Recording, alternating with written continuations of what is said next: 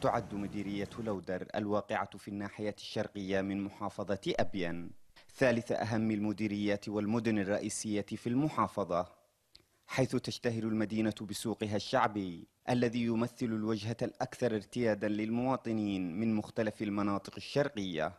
المديرية طبعا تعاني من شحة المياه ما فيش مياه ومن شحة الكهرباء. إذا من شحة التربية هنا لا توجد تربية يعني مضبوطة أهمال في مجال التربية والتعليم.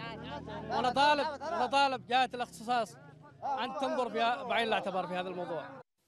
ورغم مقاومتها لكل الظروف التي تمر بها إلا أن أبناء المديرية يشكون تجاهل السلطة المحلية في متابعة احتياجات المنطقة حيث يعاني المواطنون من ترد في مستوى الخدمات الضرورية.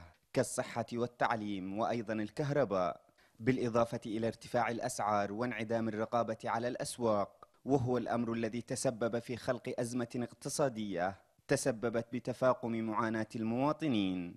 وضع المديرية من الأسعار ماشي رغابة ولا بلدية ولا رغابة على الأسعار في المحلات وفي كل حاجة واحد طلع واحد ينقص. والكهرباء أغلب الأوقات طائفية والكداديف منظمة في كل مكان وين مقدلة؟ ولا بلدية ولا حاجة. ولا نعرف حتى أي حكومة تعمل أي حاجة هنا.